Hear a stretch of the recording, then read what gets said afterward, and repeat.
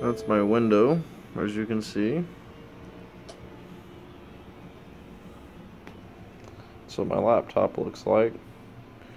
And you can actually see the heat. There's the cable that goes around, it's just a light strip around the floor. TV. Move it around a little bit, you should be able to see. There's the cat.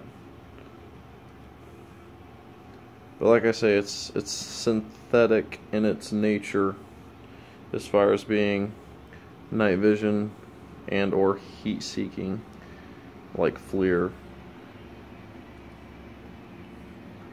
That's my Xbox soundbar. TV's right behind it. You can barely see it because it's not even been turned on. That's all the stuff in my rack right there.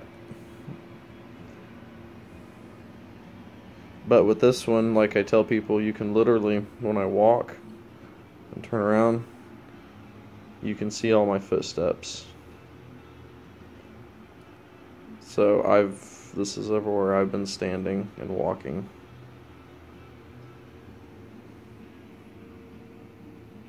All the way down to my feet right now. So if I walk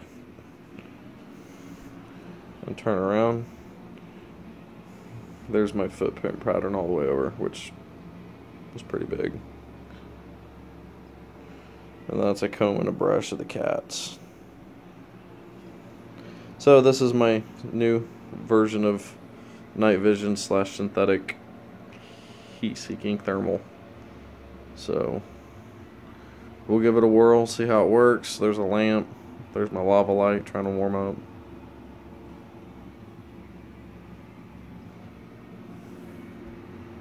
There's my curtains. Once it adjusts down, you can kind of, you get a picture. There's my bed. And there's the window, so there's going to be some more heat and some more stuff sitting right there. My thermostat, it's a Nest. There's a TV sitting below it, but that's an Apple TV, or Apple Airport Express. But, fan high velocity fan. You can see the motor back there making some heat.